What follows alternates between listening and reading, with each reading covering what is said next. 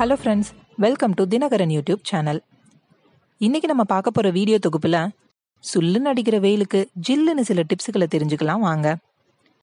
கோடை காலத்தை வருஷத்துக்கு ஒரு முறை நாம சந்திச்சே தாங்க ஆகணும். இதை தான் காலத்தோட கட்டாயம்னு சொல்லுவாங்க.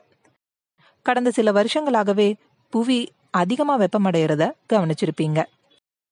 தமிழகத்தில் நிலத்தடி நீர்மட்டம் குறைஞ்சிட்டு வர்றது தான் இதுக்கான அறிகுறி. இன்னொரு பக்கம் வெயிலால ஏற்படும் உடல் ரீதியான பிரச்சனைகளை சமாளிக்க முடியாம நாம திணறிட்டு வரோம்.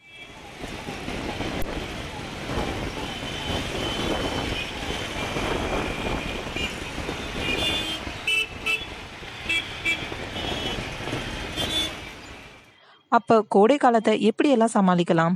சில டிப்ஸ்களை தெரிஞ்சுக்கலாம் வாங்க. முதல்ல வீட்டில் இருக்கிறப்போ பெரும்பாலும் ஒரு மணி நேர இடைவெளியில மண்பானை நீர் அல்லது காய்ச்சி நன்கு ஆறிய நீரை அப்பப்போ குடிக்கணுங்க. வெளியே போகும்போது கட்டாயமா ஒரு பாட்டில் தண்ணீரை எடுத்துட்டு போங்க.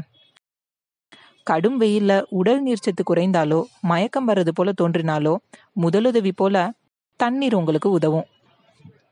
காலையில எழுந்த உடனே ரெண்டு இல்ல மூணு டம்ளர் தண்ணீரை குடிங்க.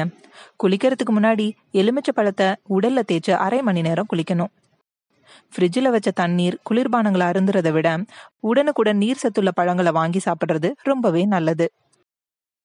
ஐஸ் கட்டிகளை பயன்படுத்துறது கூட தவிர்த்துக்கலாங்க.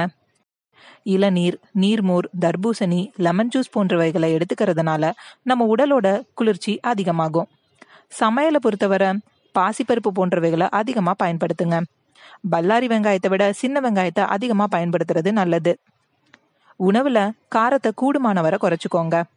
பூண்டு குழம்பு வெந்தய குழம்பு மோர் குழம்பு ஆகியவற்றை வச்சும் சாப்பிடலாம். கூடுமான வர நீர் சத்துள்ள சுரைக்காய் பூசணிக்காய் பீர்க்கங்காய உணவுல பயன்படுத்துறது ரொம்பவே நல்லது.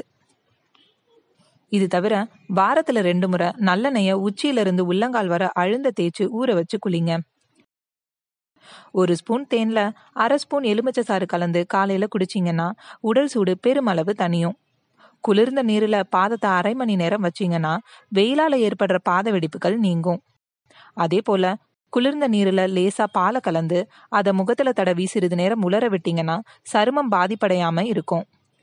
தயிரில் ஊற வச்ச வெள்ளரி துண்டுகளை சாப்பிட்டு வந்தீங்கன்னா உடல் சூடு குறையும். இரவு நேரத்தில் வெட்கையால் தூக்கமின்மை பிரச்சனை வருங்க. இதனால் ஏற்படுற கண் வளையத்தை தவிர்க்க விளக்கெண்ணெயில் ஒரு ஸ்பூன் மஞ்சப்பொடி சிறிது உப்பை கலந்து கண்களை சுற்றி தடவி வந்தால் கருவலயம் காணாம போகும்.